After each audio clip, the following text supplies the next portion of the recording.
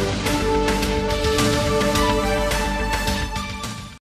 Il 19 marzo del 94, a soli 36 anni, Don Peppe Diana fu assassinato nella chiesa di San Nicola di Bari a Casal di Principe in un agguato camorristico in risposta al suo impegno quotidiano contro la criminalità organizzata.